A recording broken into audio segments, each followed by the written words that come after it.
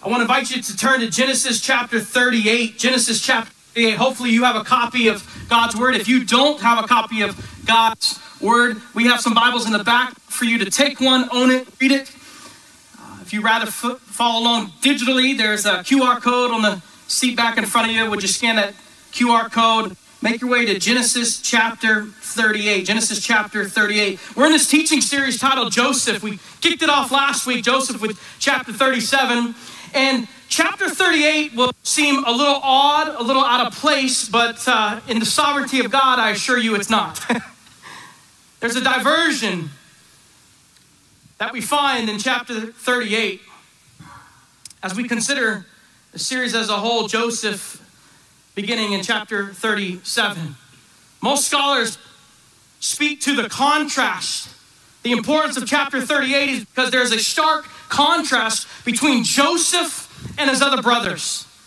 There's a stark contrast. Joseph was a man of integrity, never complained, never compromised. And what we see in the lives of his brothers is compromise after another, after another. That's surely see in chapter 38. I hope you brought your your seat belts. Hope you brought them out of your car and you just put it on. Put it on. We're going to go for a ride today. It's going to be a little wild, chapter 38. We have an incredible kids ministry, incredible Discovery Kids ministry, and I'm just going to preach the Bible, and so I'm just going to kind of say it that way. And as we get into chapter 38, I guess you decide what conversations you're going to have later on at home. Praise God.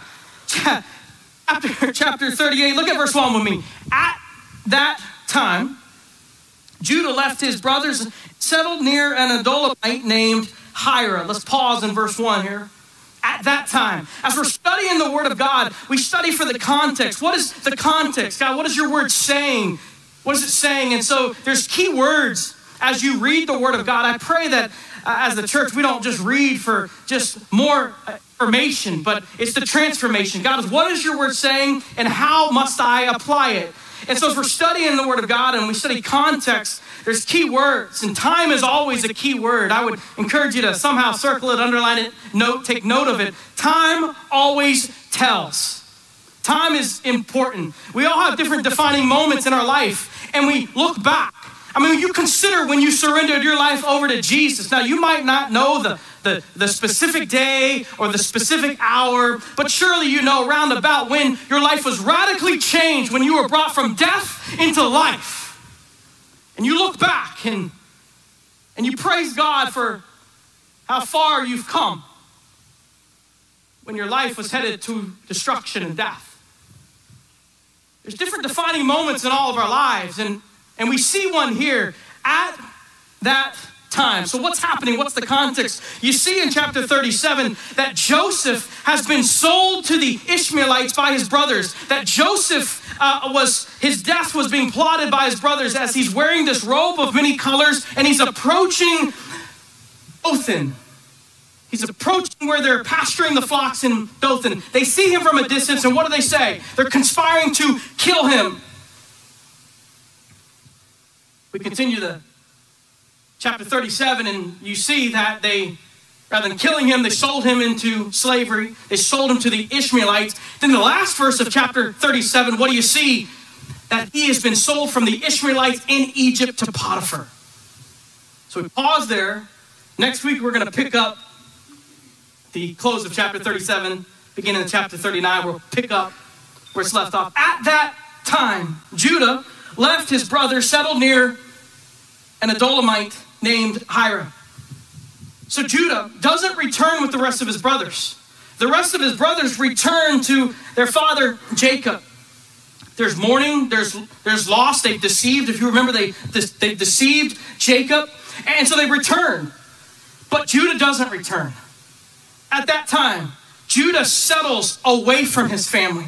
Judah settles in a foreign area, a pagan area, where ungodly practices Judah makes the decision to surround himself with people of pagan worship rather than his father worship the one true and living God. Verse, verse 2.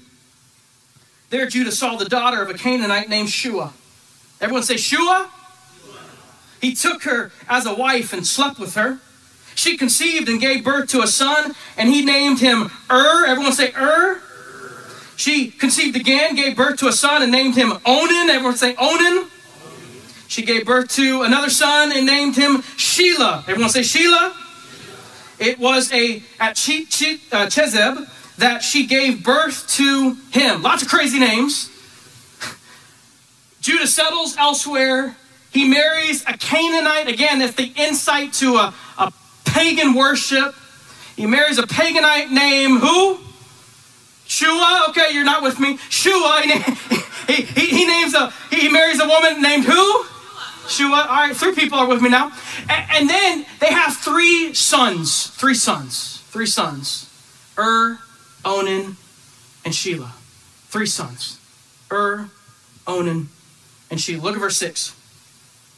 Judah got a wife for Ur, his firstborn, and her name was Tamar. Everyone say Tamar. That's, that's going to be an important one. Now, Ur, Judah's firstborn, was evil in the Lord's sight, and the Lord put him to death. Judah got a wife for his firstborn son. Notice the firstborn son, it wasn't the secondborn first, it was the firstborn. Why is that? It, it, it, was all about the family lineage. The inheritance would flow down. And so the father wanted to make sure that the firstborn son would have a, a, a wife and they would have children so that the, the family line would continue. And so we see, we see that Judah finds Ur, a wife, and her name is Tamar. And Ur does something wicked. Now, we don't know what he does that is wicked. We're, we're going to see what Onan does that is wicked. But, but Ur does something that is wicked. By the way, this is the first mention of God killing someone because of wickedness. We've mentioned these the first as we've looked through the entire book of Genesis up to this point. First battles, first sin. I mean, all this first. and, and so this is the first mention that God kills someone because of wickedness. So he does something wicked. We don't know what it is that he does, but we know and he does something. God kills him. And then uh, we go to verse 8. Then Judah said to Onan, Sleep with your brother's wife, perform your duty as her brother in law, and produce offspring for your brother. But Onan knew that the offspring would not be his, so whenever he slept with his brother's wife, he released his semen on the ground so that he would not produce offspring for his brother. What he did was evil in the Lord's sight. So he put him to death also. So Ur marries Tamar. He does something wicked. He's taken out. So then it's Onan's responsibility. Why? Because of the importance of continuing the family line. It's important that Onan, his wife, and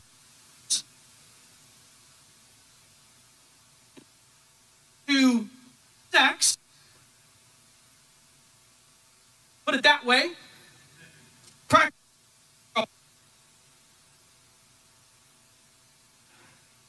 So he dies.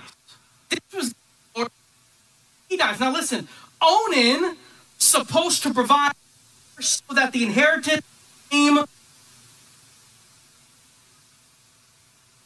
There's a Deuteronomy we, we find added to the law. It's becomes a it's called the levirate marriage, the levirate marriage.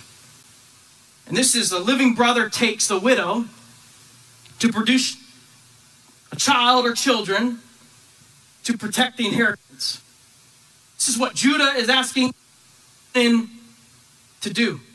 Deuteronomy chapter 25, verse 5 says, When brothers live on the same property, and one of them dies without a son, the wife of the dead man may not marry a stranger outside the family. Her brother in law is to take her as his wife, have sexual relations with her, and perform the duty of a brother in law for, for her. Now, praise God, this was part of the old covenant. Can I get a name in? Because that would be wild if it was still, still trying to practice it. Some of y'all are thinking, oh, praise Jesus. I mean, it says, no. you didn't even know what's going on here. So Onan, Judah asked Onan to, to step up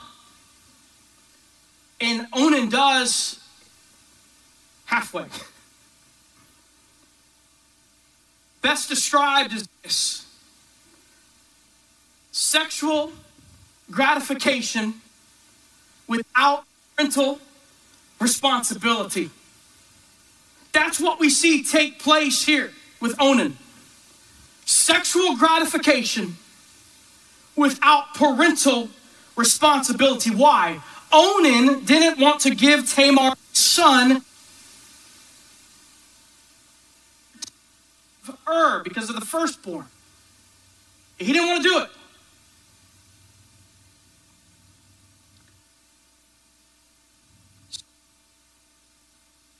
gratification, parental responsibility.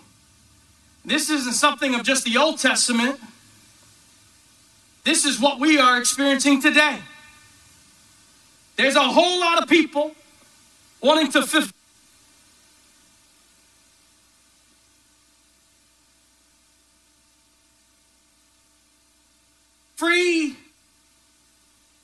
Because it's my life, body. And what God has called us to is protect what He's instituted. And what God has is this beautiful thing we call marriage. What God has designed within the marriage between a man and a woman under this covenant, exchanging vows with one another, but before God, sex is God has designed for two reasons that I will list today and perhaps more. but the first is that the two become one. That you're drawn into a greater intimacy, that that intimacy is, is experienced between made a commitment to for the rest of your life. Here with just anyone and our world has perverted what God has created.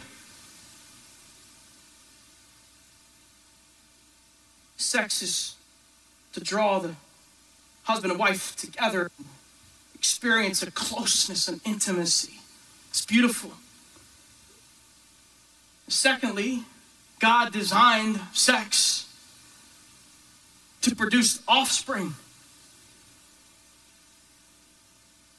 to fill this earth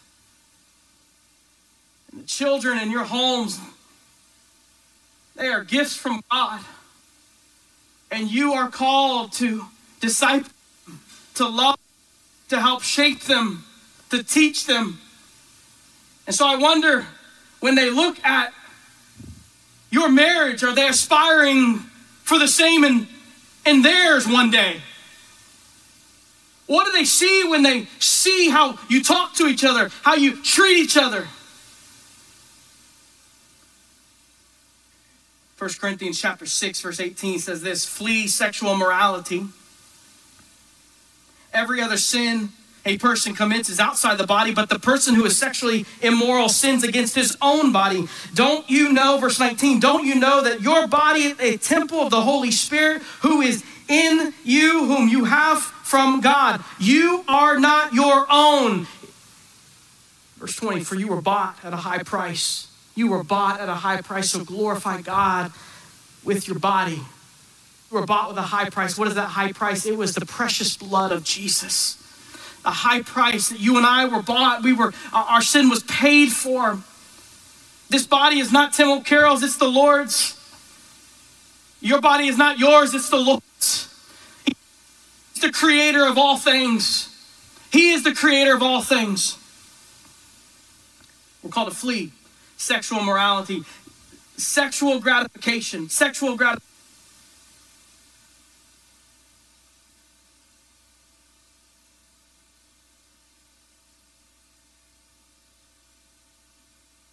World and the church must rise up. The church must rise up and no longer be silent. Verse 11, Genesis chapter 38.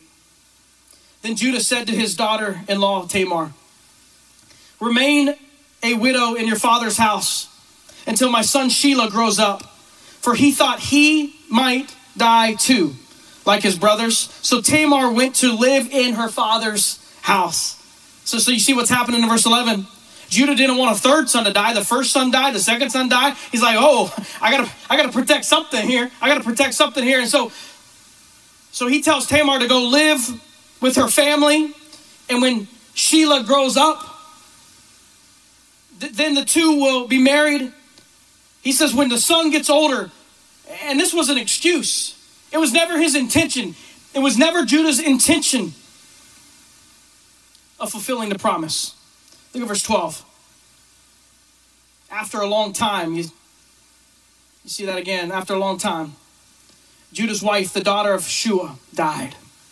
When Judah had finished mourning, he and his friend Hira the Adullamite went up to Timnah to his sheep shearers. Uh, Tamar was told, Your father in law is going up to Timnah to shear his sheep. So she took off her widow's clothes, veiled her face, covered herself, and sat at the entrance of Enaim, which is on the way to Timnah. For she saw that though Shelah had grown up, she had not been given him given to him as a wife. When Judah saw her, he thought she was a prostitute, for she had covered her face. He went over to her and said, Come, let me sleep with you. For he did not know that she was his daughter in law. She said, What will you give me for sleeping with me? Verse 17, I'll send you a young goat from my flock, he replied. And she said, Only if you leave something with me until you send it. What should I give you? He asked. She answered, Your signet ring, your cord, and the staff in your hand. So he gave them to her and slept with her, and she became pregnant by him. She got up and left, then removed her veil and put her widow's clothes back on. So, so Judah mourns the death of his wife Shua. He travels to Timnah to, to visit a pagan friend and with his pagan friend to shear some sheep. Tamar hears of the plans. She's already ticked because Judah hasn't given her his third son, Shelah. And she said, Man, I'm, I'm going to give me his son one, one way or another here. She comes up with this plan. He sees this prostitute and he gives the three most precious gifts as a down payment to have sex with her. Now, many things can be said about what we just read. One is this Church, you, you must choose your friends and influences wisely. Judah should have been home with his father, but he settles elsewhere. And he takes and forms a friendship with Hira, a man of a different worship in a different way of life. He surrounds himself with someone that doesn't share the same values of what he grew up with. Tamar disguises herself as a temple prostitute. This is a part of the Canaanite worship. This is how the Canaanites got converts. Seems like a good way in a perverted world, right? To get converts. Hey, come to the temple, sleep with whoever you want. But it's a complete perversion. But nonetheless, this is how their membership grew, if you will. So she dresses up. He gives these that are most precious to him. The signet ring. What is the signet ring? This is the, the reminder and the stamp, uh, the symbol of authority of one over the household. And he gives this as a down payment. The cords, uh, what are the cords other translations might read? Bracelets, the, the bracelets that he would have worn that have different engravings. They're precious to him. He gives this as a down payment. And then a staff. That staff would have would have been through many battles, and that staff would have been marked memorializing these different battles. And that staff, all these were to be passed on to the, to the next upon Judah's death.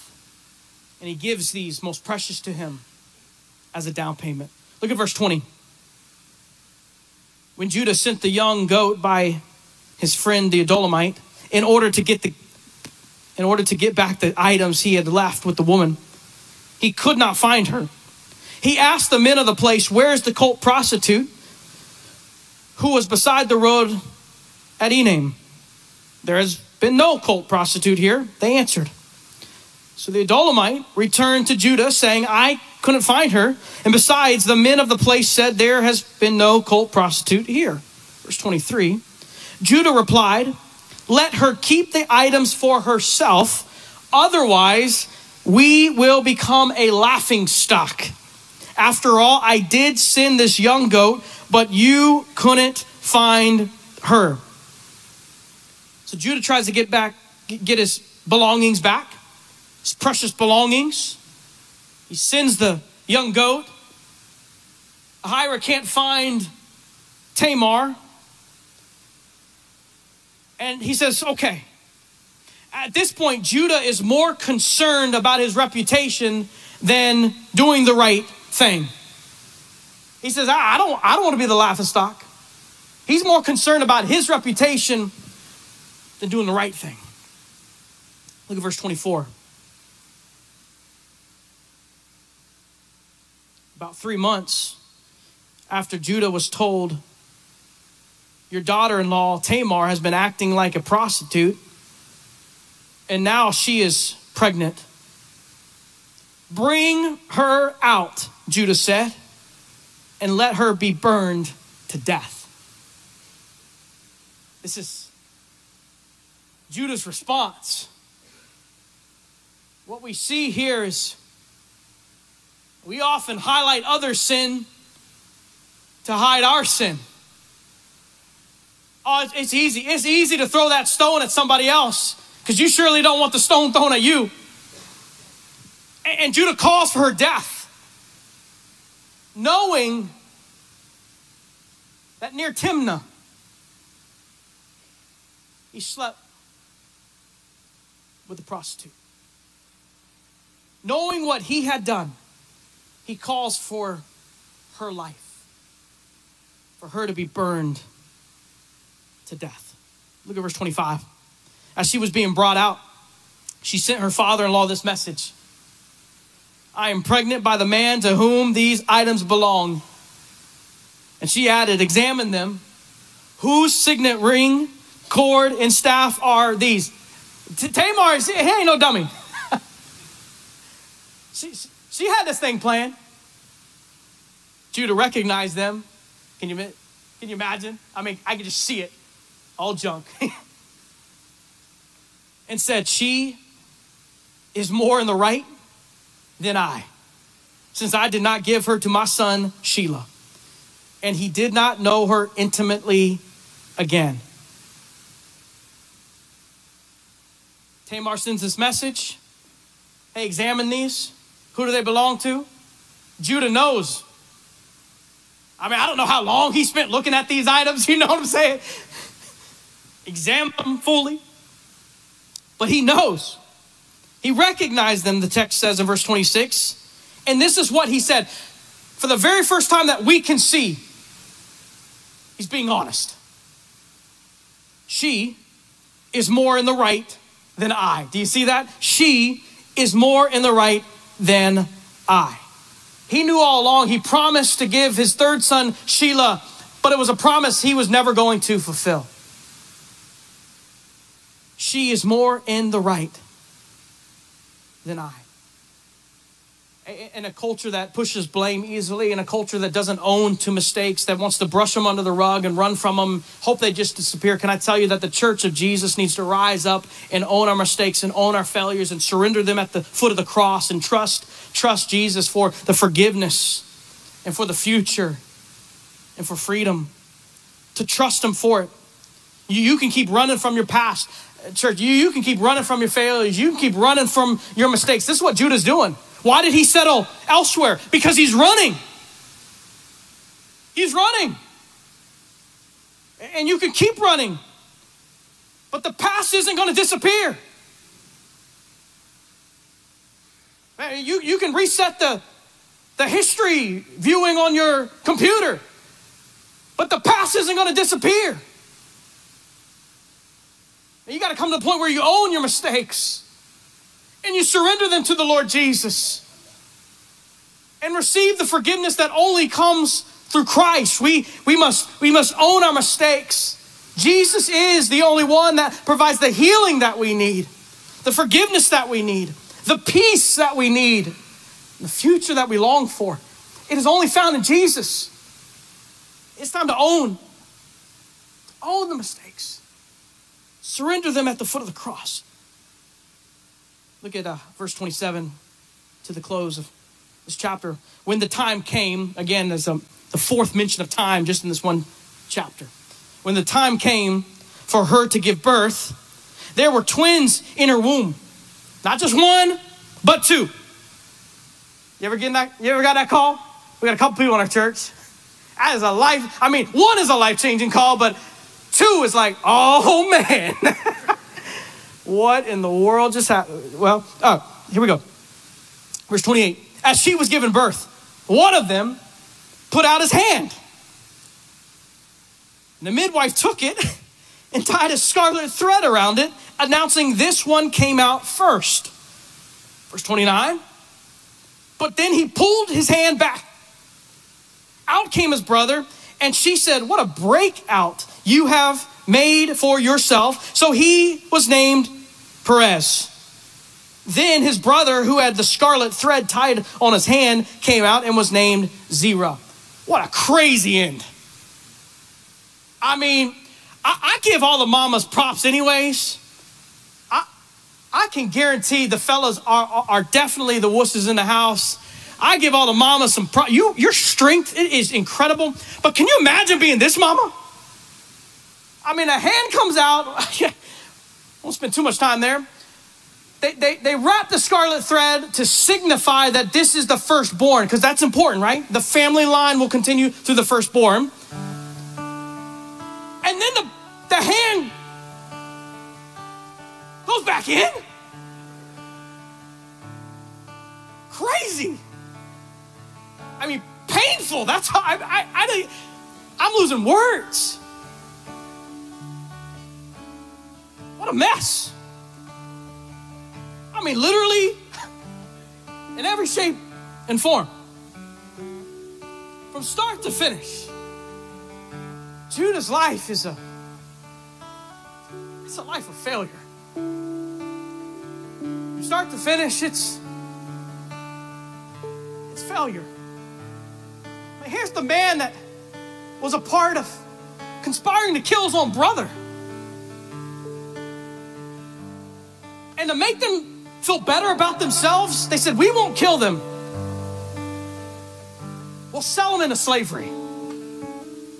I mean, maybe a touch better, but not much. He doesn't go home, he settles elsewhere. He surrounds himself with people that are going to be the yes people. Maybe some of you got those. Yeah, you just keep doing what you're doing. You just keep flirting with that other person. You just keep talking about these kind of sexual jokes, and it's all good, you know? Hey, you need some no people in your life, church. You need some people that are gonna stand the ground and hold you accountable they're gonna say, no, no, no, you're not walking down the path that God has for you. You're straying. You're straying. You're straying hard. You need to come back. I, am convinced that the, the church, when, when accountability is within the church, it's a beautiful thing. That's where the growth comes from. And some of y'all, if you're honest, you're just running. You're, you're running from community because if they only knew. And here's what we'll say as we begin to close is that is the first step. Honesty is the first step to healing. Honesty is the first step to healing. Judah finally gets honest. And then these two are born. And God has been in the middle of the mess the entire time. As I've already said, nothing bad is recorded about Joseph. But Judah and his brothers' lives are a mess. Joseph was faithful. We're gonna we're gonna see that next week and on. Joseph was faithful. His brothers were failures. Joseph had solid integrity.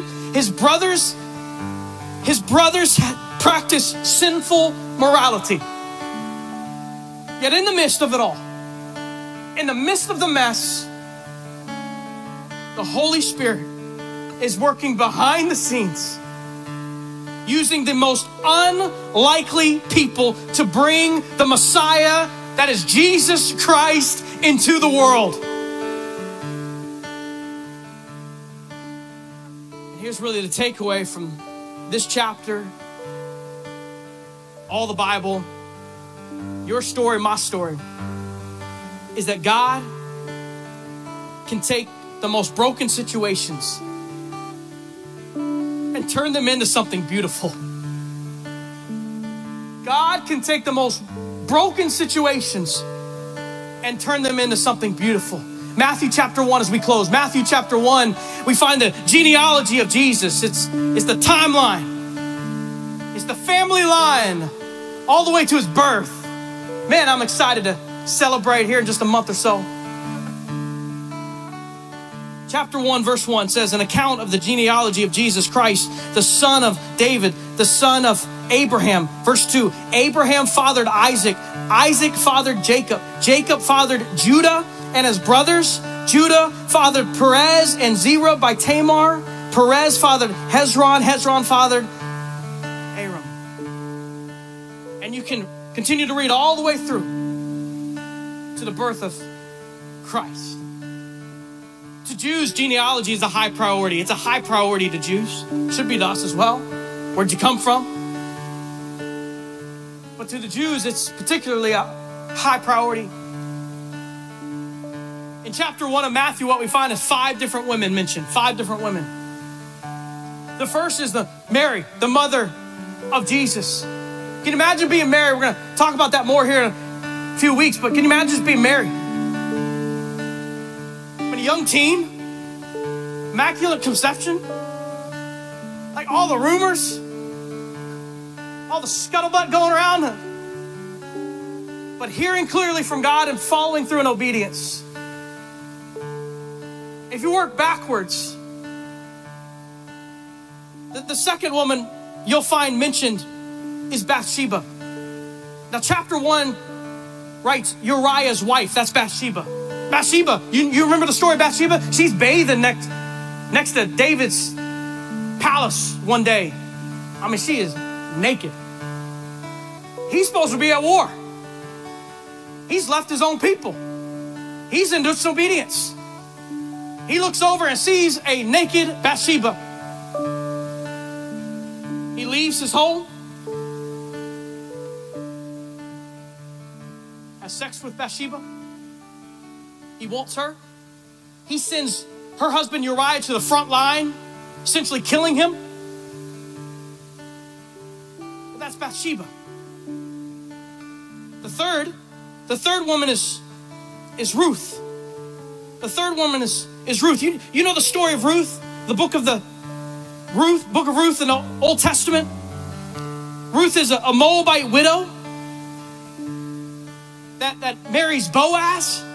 Boaz is referred to as our kinsman redeemer. Talk about pain and tragedy. And then we have Rahab. In, in Rahab is a Canaanite prostitute. Do you remember the story? She rescues Israelite spies in Jericho. But her life is a mess. She, she's a prostitute. And then Tamar. Her life is marked with pain and suffering and deceit. And somehow, God uses every woman mentioned and every man mentioned whose lives are a mess. Could even be said marked as failures. And God uses them to bring the Savior of the world for you and I. And so today, the message is, is, is clear. Those who fail, those who have made mistakes, with a list like Matthew chapter 1, you're in good company. But so much more than that. Certainly can't be left at that. Here's the message that apart from the grace of God, I would be nothing. Apart from the grace of God, you would be nothing. Apart from the grace of God, our lives would be meaningless. Romans chapter 12, verse 3 says, For by the grace given to me, Paul knew it well, by the grace given to me, I tell everyone among you not to think of himself more highly than he should think. Think sensibly. Instead, think sensibly. As God has distributed a measure of faith to each one. I tell everyone, by the grace, I tell everyone not to think of himself more highly than he should think. Uh, how often, how often, man, we're, we got the, the stone, we picked it up and we are ready to throw. But when we pause and we're reminded that I should be the recipient of that stone, we're reminded that God's grace has been lavished upon me, that it's a gift that I've received that I didn't deserve ah, it transforms us, transforms communities. When the church comes to the realization that apart from the grace of God, we are nothing and our life is meaningless. When we stop focusing on all the brokenness of our life and the mess we've made, and we start focusing on transfixing our eyes on Jesus, we start seeing how He puts the pieces of our life together. And then life becomes worth living for. Bow your heads and close your eyes? All across this place, those that are joining us online, would you just take a moment and say, God, what is what's my response to this? What's my response to this? Don't, don't try to answer for the person next to you. Don't, don't try to think of what's next later today. But just for a moment, would you just say, God, what is my response to this? Maybe the, the moment that I talked about mistakes and failures and past, maybe, maybe, maybe that's all your focus right now. And can I tell you that that is absolutely what the enemy wants you focused on? Can I just encourage you as you pray? right where you're at in the house online, can I just encourage you? Hey, would you surrender all of that over to the Lord Jesus and allow Him to fill you up with a future? He already has planned for you and I. And would you trust Him for the future? Would you trust Him for it? All across this place, people are praying. Online, people are praying. I just wonder if there's one that's never surrendered over to the Lord, Jesus. I want you to know today that the Bible says today is the day of salvation. That's you, you're struggling with where are you in your life? Can God really forgive my past? If I were to die right now, I don't know where I would spend eternity. Can I just encourage you?